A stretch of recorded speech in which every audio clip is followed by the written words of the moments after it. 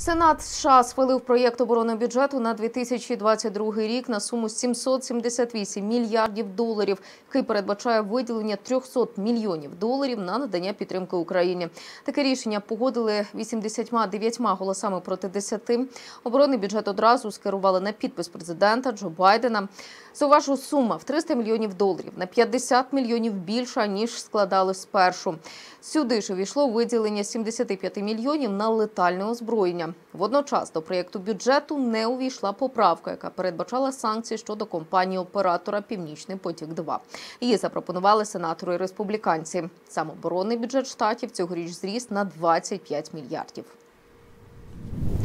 У Києві відбувся українсько-ізраїльський інноваційний саміт, присвячений 30-річчю дипломатичних відносин між державами.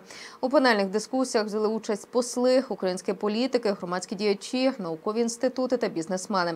Головна тема саміту співробітництво між країнами не лише в сфері it технологій а й, зокрема, в медицині та будівництві. На заході побувала наша Ганна Мельниченко.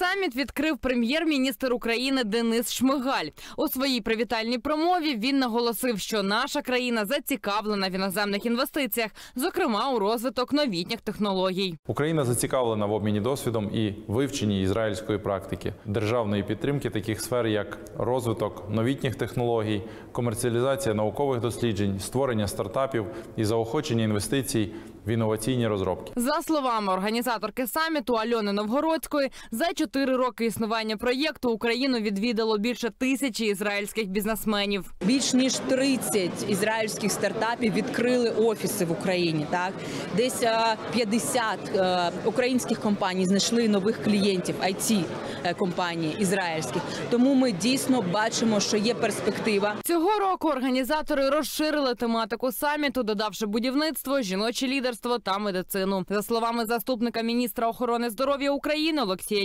Яременка, ізраїльські лікарі від початку пандемії коронавірусу діляться досвідом з українськими колегами. Проте співробітництво можна поширити і на лікування інших хвороб. Однак на коронавірусі система не закінчується. Є інші сфери, є трансплантація, є онкологія.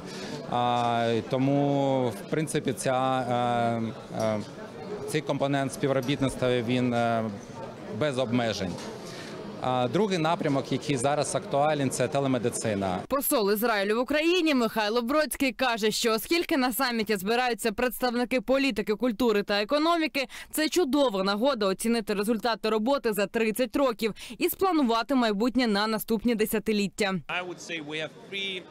В економіці ми маємо три головні напрямки співпраці. Наше співробітництво не обмежується лише трьома галузями, але вони найголовніші. Перша це аграрна галузь і управління водними ресурсами. Друга це безпека, різні види безпеки. А третя це здоров'я. Тому так багато представників українських та ізраїльських компаній, хто сфокусований на цих трьох галузях. І саме тому цей саміт є дуже важливий. Організатори саміту стверджують, що після заснування проєкту товарообіг між Україною та Ізраїлем тільки в it сегменті збільшився до 200 мільйонів доларів. Анна Мельниченко, Ірина Гойнік. Новини Правда тут.